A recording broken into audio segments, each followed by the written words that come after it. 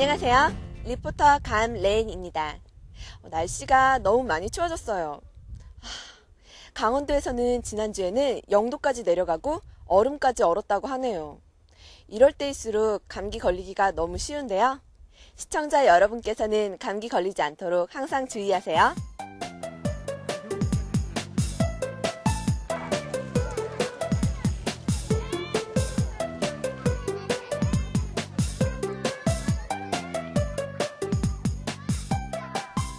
청계산 자락에 자리하고 서울 양재와 경계 지역에 있는 경마공원은 바로 옆에 서울대공원이 있어 우리에겐 잘 알려져 있진 않지만 말을 좋아하는 사람들에겐 잘 알려져 있는 곳이다.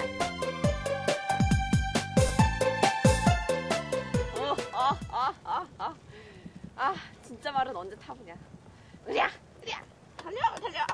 자, 저 평원을 향해 돌진! 우!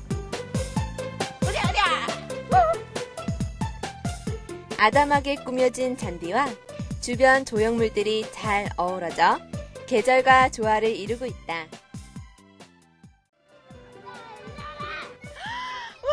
우리 귀여운 꼬마들! 안녕하세요! 와, 지금 점심 먹고 있어요? 와, 맛있겠다. 여기에 어떻게 왔어요? 차 타고 뭐 하러 왔어요? 말 타러 왔어요? 와, 재밌겠다. 여기 지금 와서 말 봤어요? 아직 안 봤어요? 아, 그럼 언제 타요? 말? 아, 다 먹고 놀이터에서 놀고? 아, 하고 놀 거예요? 말이랑 뭐 하고 놀 거예요?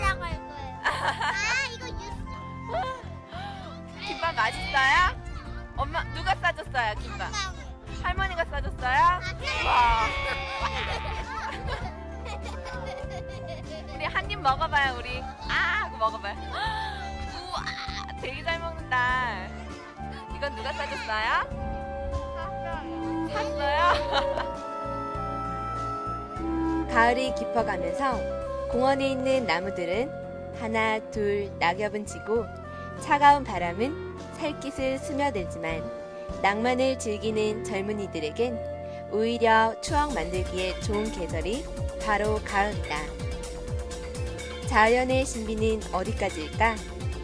목깃을 여밀 정도로 추운 바람이 불고 있지만 공원의 활짝 핀 장미는 여유로워 보인다. 꽃과 향기는 지난 이들에게 발걸음을 멈추게 하고 가을 하늘의 높고 푸름은 우리들에게 환경과 자연의 중요함을 알려주는 듯하다. 조금은 추운 듯 움츠려진 꽃잎에 바람에 흔들리는 꽃들이 애초롭기까지 한 것은 왜일까? 그리고 깔끔한 조형물들이 놓여 있으며 그 가운데 수많은 청동 말들이 조형물로 만들어져 있는 것 또한 새롭게 보인다.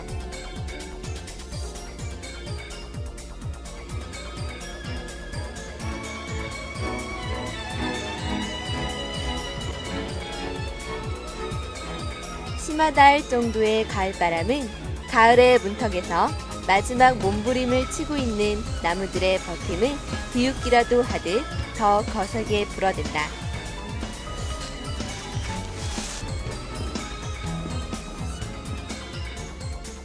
이곳은 바로 말들이 뛰어들 수 있는 드넓은 초원이 있는 목장입니다.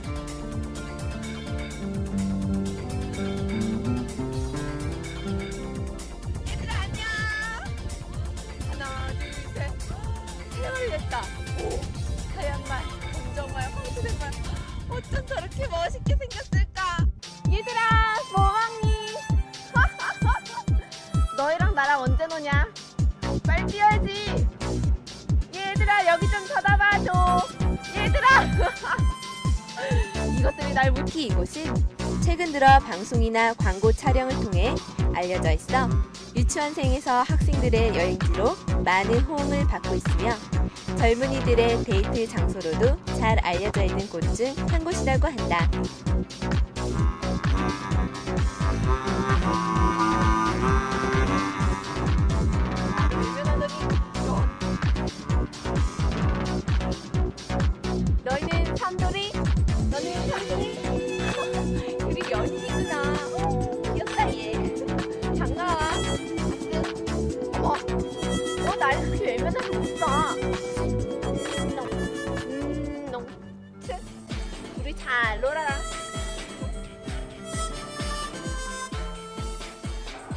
드디어 전광판에서 출발 신호와 함께 힘차게 말들이 출발을 하고 관람석에서는 삽시간에 함성이 우러나오고 일부 관람객들은 취재팀 바로 뒤까지 뛰어나오기까지도 했다.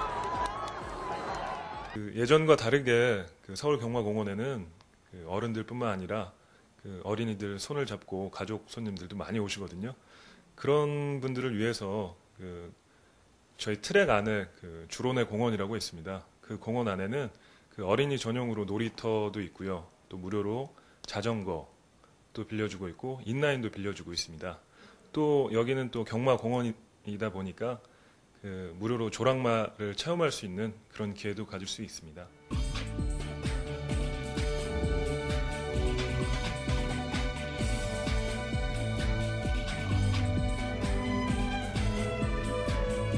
하늘 가렸던 노을빛 단풍들이 가을빛 소실바람에 그만 오솔길 굳었고 벌렁 누웠다. 그 길 가파르게 오르면 단풍보다도 고운 산사들에게 떠나다 머문 가을 얘기가 반갑게 우릴 맞는다.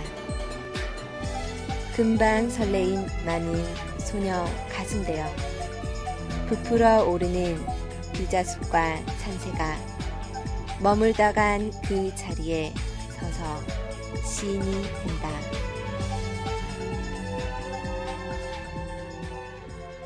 안녕하세요. 안녕하세요. 제가 여기 처음으로 제가 허브 농장을 와봤는데요. 예. 정말 다양한 허브가 있는 것 같아요. 예. 도대체 몇 가지 종류의 허브가 있나요? 한 100여 가지가 있어요. 야생화까지 해서. 아, 예. 그 중에 가장 인기 많은 허브는 로즈마리죠, 뭐. 아 로즈마리. 예. 그 허브를 키우는데 별다른 어려운 점은 없으신지. 없어요. 햇빛 봐주고 통풍이 잘 되고 물만 주면 돼요. 어, 정말 키우기 예. 엄청 간단하네요. 예. 허브란 라틴어의 푸른 풀을 의미하는 herba에서 그 단어의 유래가 시작되었다고 한다. 현재 허브라고 함은 잎, 줄기와 뿌리 등이 식용, 약용에 쓰이거나 향기나 향미가 이용되는 식물의 총체라고 정의될 만큼 그 사용 분야가 너무 광범위하여 그 경계선을 정확하게 그을 수 없는 것은 사실이다. 다시 말해 허브에 대해서 잘 알고 쓰면 약이 되는 것이고 제대로 알지 못하게 쓰면 독이 될 수도 있는 것이다. 빨강색, 가지각색의 색들이 너무 조화를 잘 이루는 것 같아요. 저처럼 너무 이쁘죠? 아이고 이뻐라, 아이고 이뻐라. 조심하세요. 찔릴지도 몰라요. 이쁜 것일수록 가시가 있거든요. 또한 허브의 향을 이용하여 아픈 곳을 치료할 수도 있다고 믿어 경애와 숭배의 대상으로 삼기도 하였다. 인도에서는 holy 바질을 힌두교의 크리슈나 신과 비슈누 신에게 봉헌하는 신성한 허브로 여겼는데 힌두교의 성스러운 허브라는 뜻으로 툴라시라고도 하였다. 흙이 아니에요. 네, 그냥 흙이 없고 영양분을 섞어서 저희 농장에서 만들어요. 그래서 가벼워요, 흙이. 아, 너무 이쁘다. 지금 제가 초를 만들러 왔습니다. 네. 지금 다양한 초의 색깔이 있는데요. 예. 이게 무슨 허브랑 무슨 관계가 있나요? 예, 아로마 테라피 초라고요. 향기 나는 초예요. 예, 다 색마다 향이 틀려요. 잘 만든 사람은 잘 만들어요. 잘 만드시면 향신료는 일반적으로 영양가가 높을 뿐만 아니라 독특한 맛이 있어 양은 적게 들어가도 서양 음식을 만들 때 빼놓을 수 없는 재료이다. 향신채는 잎, 뿌리, 꽃을 달여 허브차로 이용되기도 하고 소화 촉진, 감기 치료 등 민간 약재로도 널리 사용되기도 한다. 또한 허브를 이용해 식초나 오일, 양초 등을 만들기도 한다. 애인들 거예요? 네, 저희 친구는 애인들 거예요. 하트 모양이라서. 여러분, 제가 하트 모양으로 여러분께 저의 사랑을 전해드리고자 이렇게 열심히 만들었습니다. 저의 뜨거운 열정을 이 향초에 담아서 여러분께 바치겠습니다. 오늘은 경기도 과천에서 출발해서 고양시까지 둘러보았습니다. 넓고 확 트인 초원에서 말도 보았고요. 향기 그윽한 허브 농장에서 직접 재배 체험도 해보았습니다. 마지막으로 우리 토속의 맛도 알아봤는데요. 시청자 여러분께서는 어떠셨나요? 지금까지 리포터 감래인이었고요. 다음 주에 뵙겠습니다.